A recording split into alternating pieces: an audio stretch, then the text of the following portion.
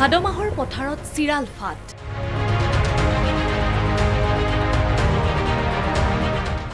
খেতিৰ পথাৰ পৰিণত চৰণীয়া পথাৰলৈ। ভগৱানৰ ওপৰতে শেষ ভৰসা কৃষকৰ। খবৰ ল'বলৈ আহৰি নাই ৰাইজৰ প্ৰতিনিধিৰ। আমাক মৰিবলৈ নিদিব। চৰকাৰলৈ কৃষকৰ অনুৰোধ। এফালে ৰাজ্যত ভদিয়াবানৰ তাণ্ডৱ আৰু আনফালে এয়া পথাৰত চিৰালফাট মেলাৰ দৃশ্য। এই একেখন অসমতে।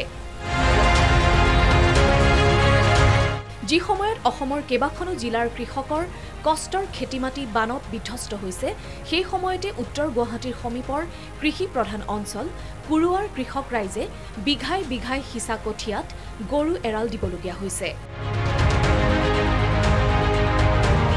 পথাৰত পানীৰ অভাৱত খেতি কৰিব পৰা নাই খেতিয়কে। হুমুনিয়াহ কঢ়াৰ বাহিৰে যেন আন উপায় নাই খেতিয়কৰ। কি কৰিম এতিয়া? উপায়বিহীন হৈ গৈছে আমি বৰ দুখী দুখীয়া হৈ যাব লাগিব বা আমি আমাৰ কোনো উপায় নাই এতিয়া চলিবৰ কাৰণে। কোনো কোম্পানীকো যাব নোৱাৰোঁ কিবাও কৰিব নোৱাৰোঁ। আমি খেতিৰ ওপৰতে নিৰ্ভৰ গতিকে এইবাৰ খেতি নহ'ল। তাৰ কাৰণে আমি কি ব্যৱস্থা কৰিম নিজে ভাবি ওলাব পৰা নাই। বৰ দুখদায়ক সৰু ল'ৰা ছোৱালীবিলাক আমি কেনেকৈ পোহপাল দিম? দেহাৰ ঘাম পেলাই কৃষকে দেশৰ অৰ্থনীতিৰ বুনিয়াদ গঢ়ে। কৃষকৰ শ্ৰমৰ বিনিময়ত সকলোৱে ক্ষুধা নিবাৰণ কৰে। কিন্তু এতিয়া ভগৱানৰ ওপৰতে যেন শেষ ভৰসা পুৰুৱাৰ খেতিয়কৰ। আশা কৰি খেতি পথাৰ এতিয়া চনেই পৰিল। গতিকে তেওঁৰ ওপৰতে নিৰ্ভৰ কৰি চলিছোঁ আৰু ভগৱানে যি কৰে আৰু। তেওঁৰ আশা আৰু মাৰাগৰাকী তেওঁহে এতিয়া আমাৰতো উপায় নাই আৰু।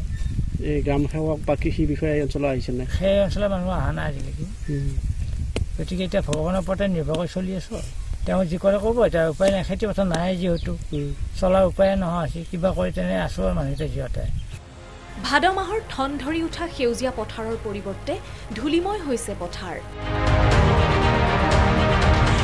একমাত্ৰ কৃষিৰ ওপৰতে নিৰ্ভৰশীল কৃষকৰ মূৰত সৰগ ভাগি পৰিছে। আমাক মৰিবলৈ নিদিব বিপদত সহায় কৰক। চৰকাৰলৈ অনুৰোধ কুৰুৱাৰ কৃষকৰ। পিছে কৃষকৰ প্ৰতি আমাৰ চৰকাৰ কিমান দায়বদ্ধ? কুৰুৱাৰ দুৰ্দিনত ক'ত আছে স্থানীয় বিধায়কজন? শ শ কৃষকৰ খবৰ ল'বলৈ আহৰি হ'বনে তেওঁৰ? বৰ্তমান সময়ত এয়া যেন এক বৃহৎ প্ৰশ্ন কুৰুৱাৰ কৃষকৰ বাবে। নিউজ ডেস্কৰ সহযোগত উত্তৰ গুৱাহাটীৰ পৰা মুক্তেশ্বৰ গোস্বামীৰ ৰিপৰ্ট নিউজ টাইম অসম।